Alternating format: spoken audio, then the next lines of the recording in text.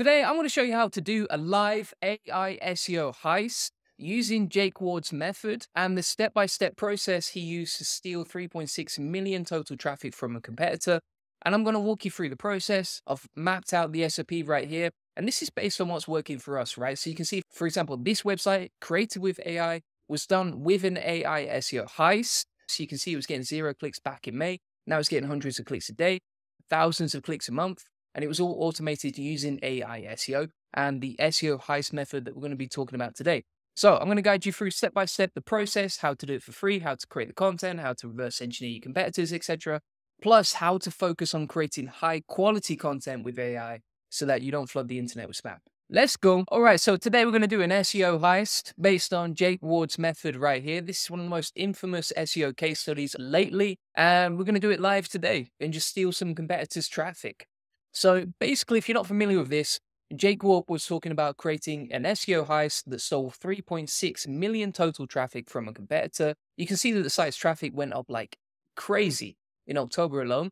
And he basically talks in this thread about how he did it step by step. Now, this went crazy, like 6.8 million views. And today we're going to replicate the whole process. So the first thing that he talks about is exporting a sitemap from a competitor, right? So how do you do that? Here's basically how it works. So the first step is to actually find some competitors that are performing pretty well. Now, one of the best ways to do this is to check out your website. Like, for example, I can check out mine right now. And if you go onto Ahrefs, you can actually go down to organic competitors. And from here, you can figure out, okay, who are the closest domains to me that I'm competing with in the SERPs to do this SEO heist with. So we can wait for this to load right now. Good old Ahrefs, taking its time. And so from here, I can see all the websites that have a keyword overlap with me directly, right? And I can see which ones are performing best in terms of keywords and also traffic. So for example, for my website, juliangoldie.com, Ahrefs, Moz, and a bunch of other websites are competing with me, and they're getting pretty good traffic, as you can see right here. Now, if you don't have access to Ahrefs, the easiest way to figure out your closest competitor is just to type a relevant keyword to your website that's performing pretty well and you know it's getting a lot of traffic. So for example, we can search for a keyword like best bird binoculars, and then we can look down the list and we'll see that these websites are ranking higher for our keyword. And this is a free way to do it. You don't need to pay for any tools here. You can just check Google for free. And then from there, you're going to figure out, okay, these websites are doing pretty well for ranking, and therefore they might be a good target for the SEO heist. What's important to note here is that you only want to target websites that are niche relevant. So for example, if you look at NY Times, well, you're not going to do an SEO heist on the NY Times because it's too generic. And if you try and copy what they're already doing for SEO, you're going to get loads of random topics that don't make any sense to your particular niche. But let's say you're in the birds niche, well, you would pick a relevant birds website just like this. So that is basically stage one of the SEO heist method. So you find an organic competitor. Why do you do that? Well, if you're going to do an SEO heist, do it on a site that gets traffic. And how do you do it? Well, the paid way is to find organic competitors on Ahrefs, pick the ones with the most traffic, and then find overlapping keywords. The free way is to search relevant keywords on Google, like I've just shown you, make a list of competitors to do an SEO heist on, and make sure you only pick niche relevant domains. Now, the next step is to start looking at the competitor's sitemap, right? Now, so like Jake recommends, you can go to the main domain, for example, like website.com, and then you would go to sitemap.xml after the main domain. Now, the key here is that if you pick URLs from your competitor's sitemap, ideally, you want to pick ones with a relevant URL. So, for example, how to make soup is way easier to automate an SEO AI heist on versus a domain like forward slash 104 3423, right? So, for example, if we go to chipperbirds.com forward over here, what we'd actually do is focus on the post sitemap. We're not going to bother with the category sitemap. We're not going to bother with the page sitemap. We would focus on the post sitemap. Why? Because that's where most of the SEO content is created. And then from mm. here, what you're going to see is a list of websites right here.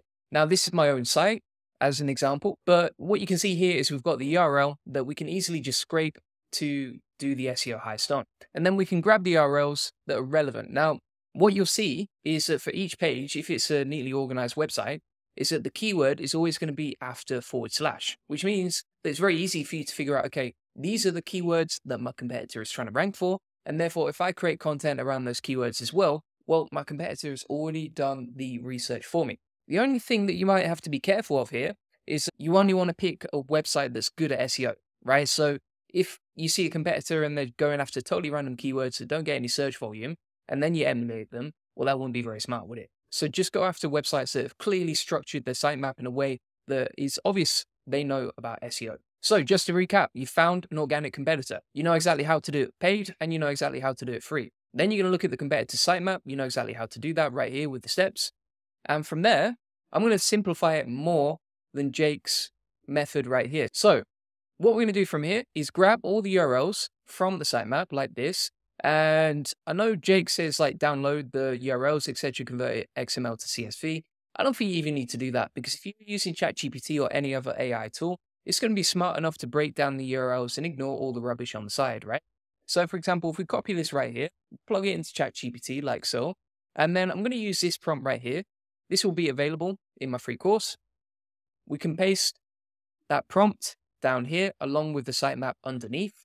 And we will say, break down the keywords from the list of URLs, just the keywords, nothing else. Give me the full keyword, no commas in between. We'll hit enter like so. And there we go. We've got a list of the keywords extracted from the URLs. So for example, this page right here is clearly targeting the keyword blogs about birds. ChatGPT has filtered all the messy data around it and then just given us the keyword, which is blogs about birds.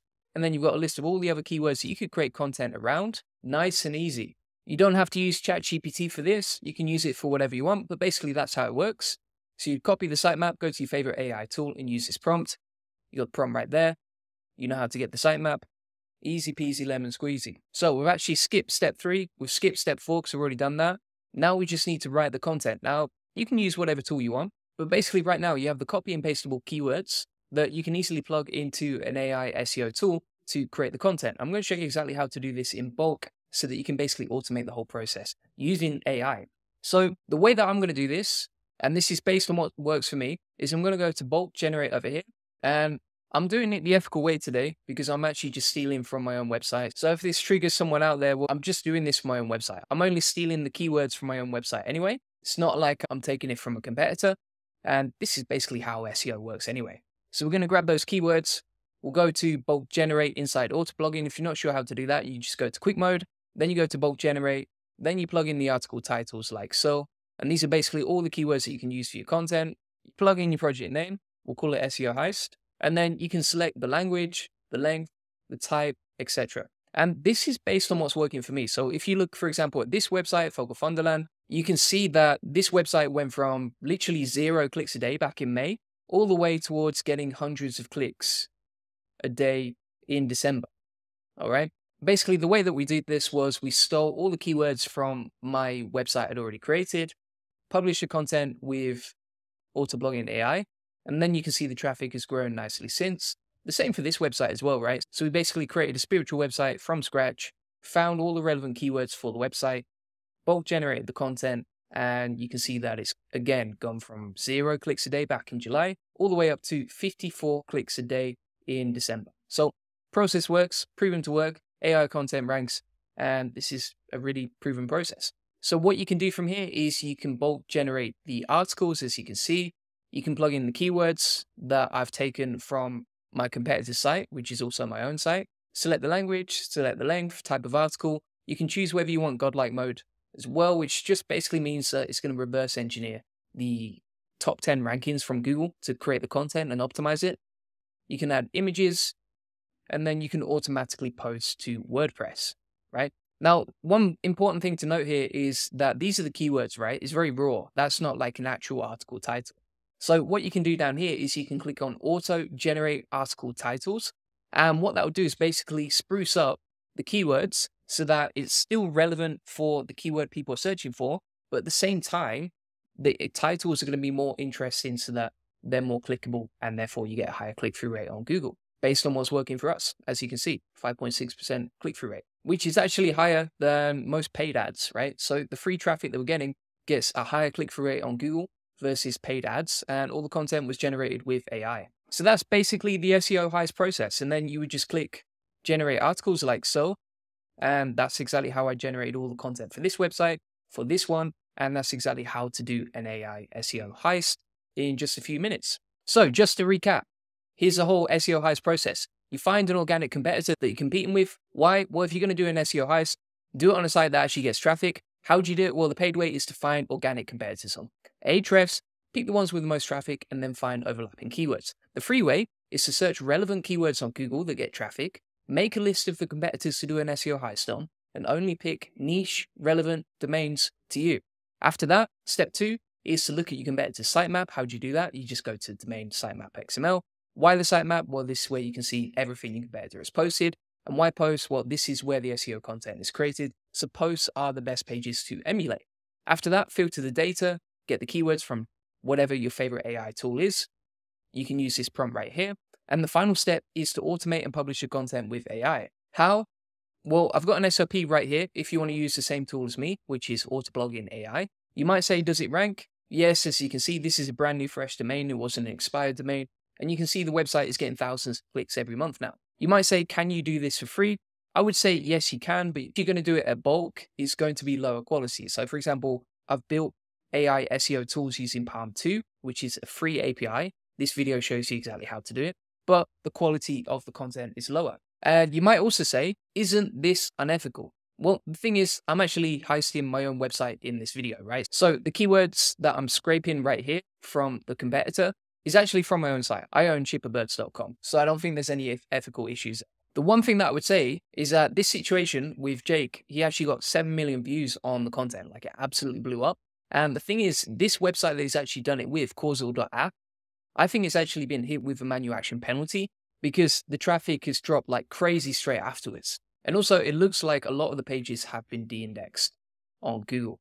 Now, let's talk about the ethics of SEO Heist because this particular thread got a lot of attention and a lot of hate as well.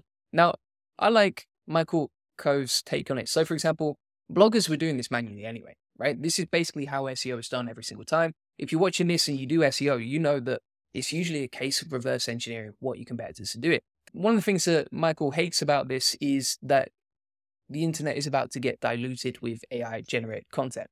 I would say there's even more of a premium on human written content. Like, for example, if you type something like how to do SEO into Google and you get the AI answer from Search Generative Experience, you can see that the content provided is pretty low quality, right? So, for example, you ask how to do SEO and it tells you it's not rocket science, but it takes time, effort, and persistence. Now, you already knew that before you typed in the search term, which means that this AI content is not really useful. And therefore, what I'd expect is that there's going to be a bigger volume of lower quality content, but there's still going to be a massive demand for human written content or quality content. And that's still what's going to rise to the top. I think it's the same on YouTube, right? If you look at YouTube, it always serves you the best video on that particular topic. Like it's such a good algorithm. And even though there's a flood of AI generated videos coming in, if you look at them, most people can tell them straight away, just like they can tell this answer straight away is not very useful. And therefore, even if there's a flood of AI content, it's only going to be the best content that ranks. And we do some crazy experiments on this channel, but that's really mm. just for fun. Like if you want to learn how to create quality content using ChatGPT, I would say this is one of the best videos we've had on the channel so far.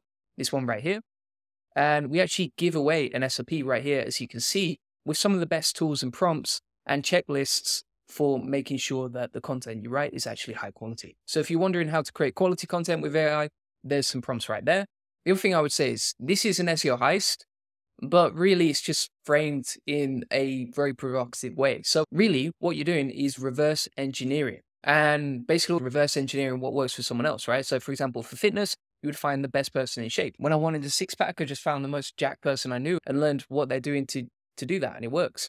Same for business, right? You find a high performer and then you see what you can learn from them. And with SEO, you just look at what your competitors are doing and learn from that. SEO heist sounds provocative, but really, you just reverse engineering.